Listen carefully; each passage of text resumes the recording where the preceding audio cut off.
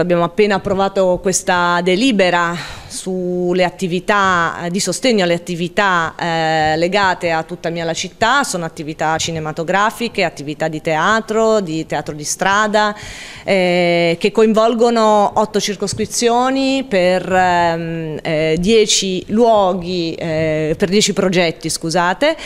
eh, sono coinvolte più di 30 organizzazioni, 150 appuntamenti in città, eh, crediamo di aver dato eh, l'occasione ai cittadini di uscire, di intrattenersi con il cinema, il teatro, la musica in luoghi molto belli, dalla Tesoriera al Parco Rignon, all'ex Incet, eh, cercando di rispondere anche alle esigenze, alle aspettative del, dei nostri cittadini.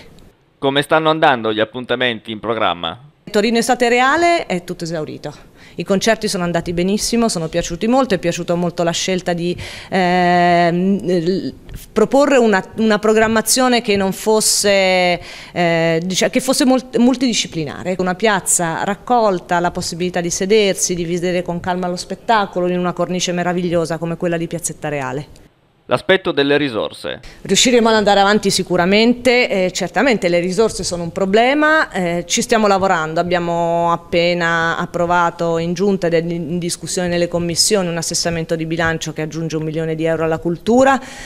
che diciamo, mette in sicurezza alcune istituzioni che erano in difficoltà, penso al Museo del Cinema, al Teatro Stabile, al Museo Diffuso della Resistenza, ecco, al, al sistema del teatro. Ecco, noi stiamo lavorando lavorando per trovare le risorse e per utilizzarle al meglio e lavorare anche con i cittadini e con le organizzazioni culturali per costruire insieme la programmazione culturale della nostra città. In seguito alla circolare Gabrielli è stato necessario rivedere i programmi degli eventi? I programmi che abbiamo gestito direttamente non hanno subito nessuna modifica, eh, abbiamo affrontato la circolare Gabrielli con serietà e attenzione,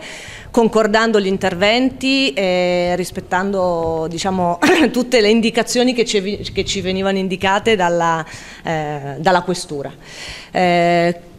Abbiamo seguito da vicino le associazioni che si trovavano in difficoltà ad affrontare la circolare Gabrielli, gli abbiamo dato una mano, abbiamo cercato di trovare soluzioni, in, in alcuni casi l'impegno economico richiesto dalla questura era troppo elevato per, eh, era stato valutato troppo elevato dai singoli organizzatori che hanno deciso di non realizzare alcune delle attività che avevano, che avevano programmato. È una novità la circolare Gabrielli, credo che sia una, siano indicazioni enormi che si eh, risolvono con la programmazione. Cioè, mh, arrivare all'ultimo momento è molto difficile eh, ed è molto difficile all'ultimo momento affrontare tutte le richieste che oggi impone la circolare Gabrielli, quindi bisogna programmare, la città è vicina alle organizzazioni per individuare problemi e soluzioni eh, e noi su questo stiamo lavorando.